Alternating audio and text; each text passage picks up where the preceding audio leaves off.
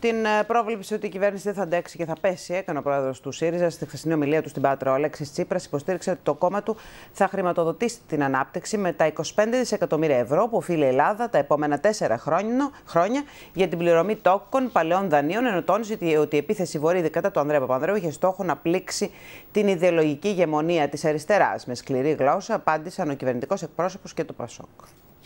Αυτή λοιπόν η νέα κυβέρνηση με τον κύριο Σαμαρά να κρατάει στην αγκαλιά του τον κύριο Βενιζέλο δεν πρόκειται να κρατήσει για πολύ. Εξάλλου, πόσο μπορεί κανείς να κρατήσει στην αγκαλιά του τον κύριο Βενιζέλο; Δεν είναι και εύκολο. Σας το υπογράφω, πολύ σύντομα θα πέσουν και οι δύο, δεν θα αντέξουν.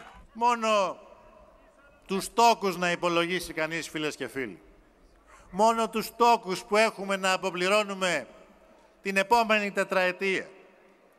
Τα χρήματα υπερβαίνουν τα 25 δισεκατομμύρια ευρώ. Να λοιπόν τα λεφτά.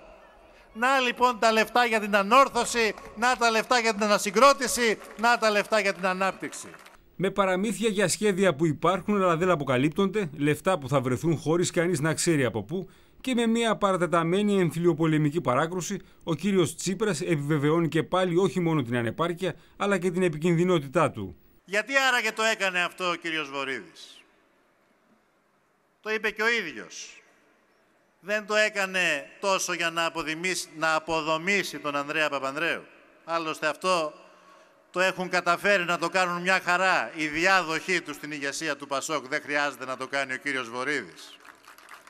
Γιατί το έκανε αυτό ο κύριος Βορύδης; Γιατί θέλουν να ξεμπερδέψουν με την ιδεολογική ηγεμονία της αριστεράς, λένε. Του πήρε μόλις μερικές δεκαετίες του ΣΥΡΙΖΑ για να αποδεχθεί ότι ο Ανδρέας Παπανδρέου ήταν αριστερός, όπως προκύπτει από την σημερινή ομιλία του Προέδρου του στην Πάτρα. Συγχαρητήρια, αν και θα πρέπει να προβληματίσει όλος το γεγονός πως χρειάστηκε η συμβολή του κ. Βορύδη για να το ακατανοήσει και ο Αλέξης Τσίπρας.